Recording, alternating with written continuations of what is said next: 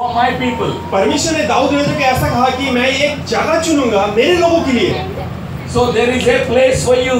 तो इसीलिए परमेश्वर आप लोगों के लिए एक जगह चुन के रखा है hallelujah There is a place for Israel, number one. पहली बात तो एक जगह है इज़राइल लोगों के लिए भी That is the covenant. और वो जो वाचा परमेश्वर ने बांधी थी God made a covenant with David that I will appoint a place for my people और Israel. परमेश्वर ने दाऊद के साथ भी एक वाचा बांधी उन्होंने कहा कि मैं एक जगह चुनूँगा मेरे लोग इज़राइल की जातियों के लिए And secondly, what does he say? और दूसरी बात उसने ने क्या कहा यहाँ पे And he says, I will plant them, I will establish them. और उन्होंने कहा कि मैं उन्हें उनको स्थिर ठहराऊँगा मैं उनको रखूँगा वहाँ पे Number one, the place is Israel, the land. और जो जगह जो है इज़राइल देश में Number two, I will establish them. और दूसरी बात है कि उन्होंने कहा कि मैं उनको स्थिर ठहराऊँगा And number three, I am with you.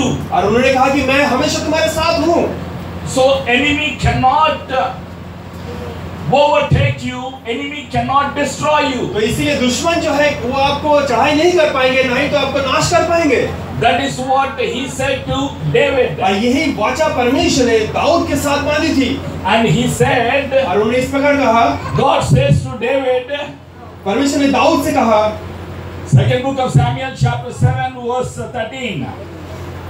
सात की तेरह में इस प्रकार लिखा है He will build a house for my name, और मेरे नाम पे वो एक घर बनाएँगे and I will establish the throne of his kingdom forever. और मैं अपने राज वहाँ पे बनाऊँगा हमेशा के लिए He will build a house for me. वो मेरे लिए घर बनाएँगे Who is talking to whom? कौन किससे बात कर रहे हैं यहाँ पे Holy Spirit was telling to David about Solomon. और दाऊद पवित्र आत्मा यहाँ पे अपने बेटे जो सलोमन जो है दाऊद से बात कर उनके बारे में He will build a house for me, और पवित्र आत्मा कह रहा है कि सलोमन मेरे लिए एक घर बनाएँगे and I will establish his throne forever. और मैं उनका गद्दी को हमेशा के लिए बना के रखूँगा Everybody हालेलुया। say amen. आमीन Everybody say shalom. सब लोग कहें शालोम My dear chosen children of God, this is the covenant. और यही है वो भाषा जो परमेश्वर ने बांधी थी And now let me tell you what is a revelation. और मैं आपको कहना चाहूँगा कि प्रकाशन का मतलब क्या है सब लोग ध्यान से सुने Let me give you the prophecy. मैं एक भविष्यवाणी आप लोगों के बीच में रखना चाहता हूँ Number one prophecy, second book of Samuel, chapter 7, verse 10, is your promise and is your prophecy and my prophecy. पहला दूसरे समय सात के दस में ये भविष्यवाणी परमेश्वर आपके लिए और मेरे लिए किया है I will appoint a place for my people. उन्होंने कहा कि एक जगह में ठहरो ठहराऊँगा लोगों के लिए Now the church is going to receive the big place. That is a prophecy. और ये प्रॉफिसी वादा परमेश्वर कह रहा है कि ये कलीसिया एक बहुत बड़ा जगह को पाएँगे hallelujah hallelujah Everyone who does not have a house, you will have a house in Jesus' और जिन लोगों के पास अपना अपना घर नहीं है परमेश्वर आप लोग अपना अपना घर देंगे hallelujah That is what the prophecy. और यही भविष्य I will give them the place. कि परमेश्वर ने आपके लिए कह रहा है और कह रहा है कि मैं एक जगह दूँगा तुम्हें This is for whom? ये किसके लिए है It is not for everybody. ये सभी के लिए नहीं है It is for the covenant people. और ये ये है उस वाचा में जो बने हुए लोग हैं उनके लिए Land is for Israel, ज़मीन जो है वो इज़राइल लोगों के लिए तो है not for the unbelievers. और उन अन्य जातियों के लिए नहीं है Unbelievers cannot dwell in the land of Israel. प्रभु की ज़मीन पे अन्य जाति प्रवेश नहीं कर सकते My dear chosen children of God, मेरे चुने हुए जो लोग हैं there was no country till 1948 as Israel. Israel देश 1948 से पहले कोई देश नहीं था। For more than 1500 years they had no country 15 1500 साल इजराइल कोई देश के रूप में नहीं बन, बना था। They were under many countries as a slaves in different countries सब लोग ध्यान से सुने ये इतिहास है।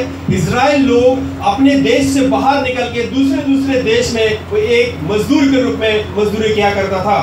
एज फॉर द गवर्नमेंट लेकिन God, लेकिन परमेश्वर ने जो बाचा बांधी थी God made a covenant with Abraham, Isaac, and Jacob. जो परमेश्वर अपने दासों के द्वारा एक जो बाचा उन्होंने बांधी थी God made a covenant with David.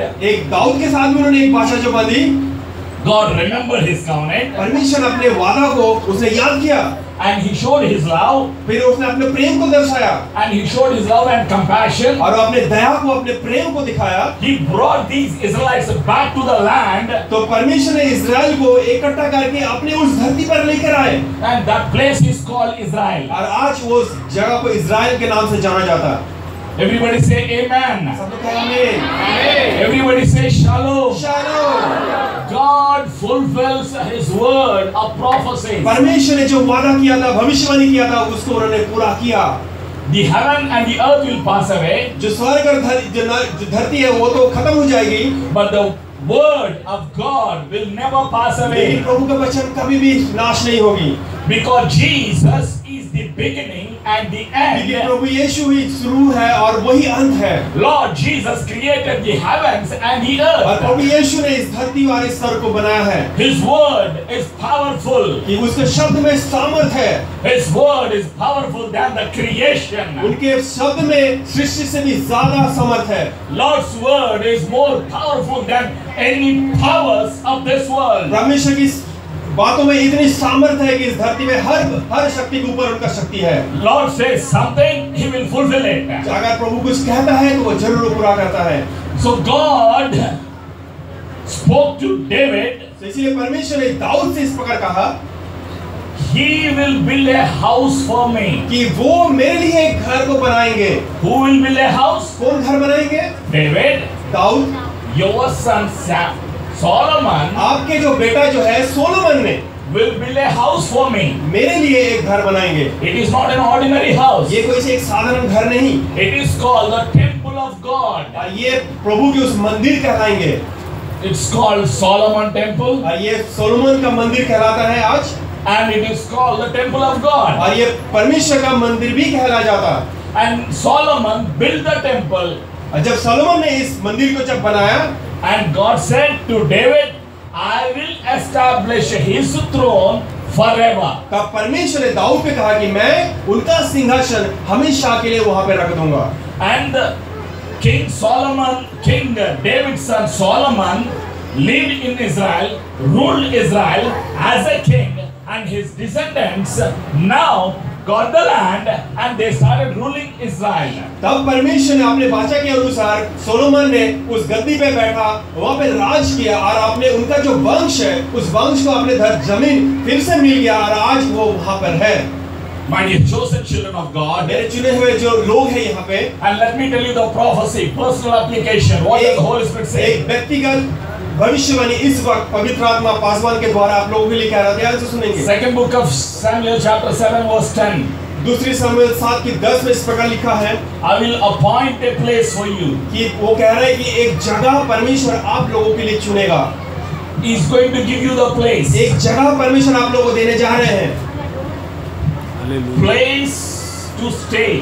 एक ऐसा जगह जहाँ पे आप रहे Number two, a place to be established. एक ऐसा जगह जहाँ पे आप स्थिर ठहरेंगे और बढ़ते जाएँगे A place of worship. एक ऐसी जगह जहाँ पे आप आराधना करोगे A place of peace. एक ऐसी जगह जहाँ पे आप शांति को महसूस करोगे A place of healing. एक ऐसी जगह जहाँ पे आप चंगाई को प्राप्त करोगे A place of deliverance. एक ऐसी जगह जहाँ आपको छुटकारा को भी महसूस करोगे A place of love. एक ऐसी जगह जहाँ आप प्रेम को भी महसूस करोगे A place of एक compassion. ऐसी जगह जहाँ आप दया पाएँगे Lord is going to give you. वो जगह परमेश्वर आपके लिए ठहरा रहे hallelujah hallelujah In this world, every place, इस इस धरती में हर एक जगह जो है there is no place, there is no peace.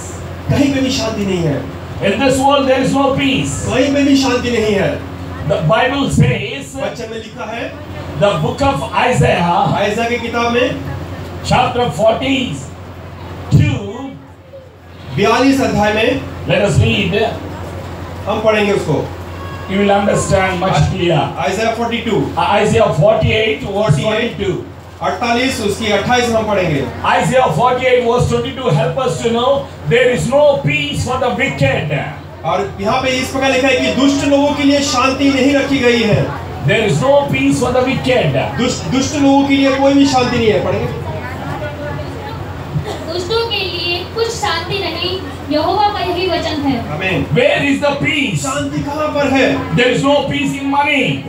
पैसों के द्वारा हम शांति को नहीं खरीद सकते There is no peace in the worldly और और और इस दुनिया की बातों में शांति नहीं है There is no peace in in opposition. position. एक एक बहुत बड़ा एक पद को एक पद को हासिल करने भी आपके जीवन में शांति नहीं आएगी There is no peace in power and the authority in this world. और इस अधिकारी के ऊपर अधिक अधिपति होना भी के द्वारा भी आप उस शांति को महसूस नहीं कर सकते You will not get the peace from the possessions, from the things of the world. और इस दुनिया की बातों में और एक बहुत बड़ा कद को पाकर भी आप शांति को महसूस नहीं कर सकते What is there in this world? इस दुनिया में है क्या First book of uh, uh, John, chapter 2, verse 15 and 16. Everything that is in this world is not of God. और उस पहले योना में लिखा है कि इस धरती पे जो कुछ भी है वो परमेश्वर की ओर से नहीं Everything that is existing in this world, lust of eyes, lust of flesh, and the pride of life. और इस दुनिया में जो कुछ भी दिखता है जो एक लोभ एक अभिलाषा जो है वो सब कुछ जो है वो शैतान की ओर से है Everyone who loves the world, जो कोई इस धरती को प्रे- प्रेम करेंगे love of father will not be in them. तो परमेश्वर पिता उनके ऊपर नहीं होंगे My dear children of God, मेरे मेरे, प्यारे विश्वासी भाई बहनों Jesus loves you. प्रभु यीशु आपसे प्रेम करते हैं Who are the covenant people? कौन है वो बाचा के लोग जो परमेश्वर परमेश्वर ने उनसे वाचा बांधी है। Number one Israel's are the covenant people Israel के लोग। Is the Israel will receive the place Israel shall receive the place. Israel को एक ज़मीन दिया जाएगा Israel will be planted. Israel को वहाँ पे वहाँ पे रखा जाएगा They will be established. उनको वहाँ पे रखा जाएगा पूरी तरह से Enemies cannot touch them. और इसराइल लोगों को कोई भी दुश्मन चढ़ाई नहीं कर सकते And there will be a place of worship. और एक ऐसा जगह जहाँ पे स्तुति आराधना हो And there, his throne will be established forever. और परमेश्वर को जो जो सिंहासन है हमेशा के लिए वहाँ पे बनाया जाएगा Everybody say amen. आमीन Amen. आमीन Now the word is of prophecy for you. और आपके लिए आप भविष्यवाणी क्या है Lord is going to give you the place. परमेश्वर प्रभु यीशु मसीह एक ऐसी जगह आपको देने जा रहे हैं Lord is going to plant you.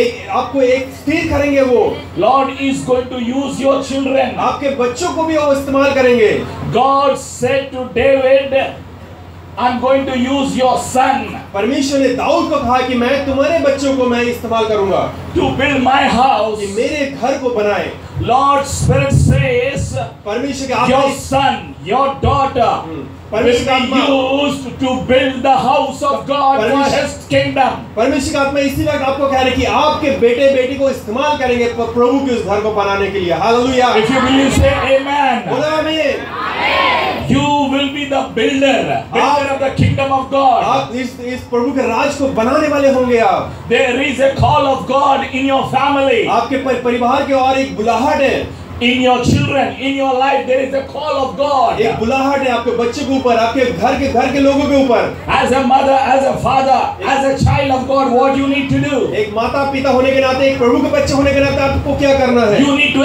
accept the call of God in your life. आपको प्रभु के इस वचन को ग्रहण करना है David accepted the call of God. Dawood ने प्रभु के वचन को स्वीकारा David accepted the covenant of God. उनके वादा को भी दाऊद ने स्वीकारा David accepted the prophecy of God. उन्होंने अपने भविष्य भविष्य के भविष्यवाणी को भी उसने स्वीकार लिया His children were blessed. क्योंकि उनके उत्तर तब देखे हमने कि उनके बच्चे बढ़ते चले गए Temple was built. कि मंदिर को भी बनाया गया Throne was established. आज सिंहासन अभी भी है My dear children of God, मेरे विश्वास भाई बहनों what you and I need to do? हमें और आपको क्या करना है Number one, we need to believe in the prophecy. सबसे पहली बात है हमें इस भविष्यवाणी में विश्वास करना है What is prophecy? ये भविष्यवाणी क्या है Word of God is called prophecy. जब प्रभु के जो वचन है ये